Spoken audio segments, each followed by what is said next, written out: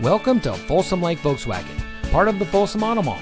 And here's another look at one of our quality pre owned vehicles that comes equipped with heated front seats, moonroof, steering wheel controls, alloy wheels, keyless entry, air conditioning, traction control, CD player, power windows, side airbags, and has less than 20,000 miles on the odometer.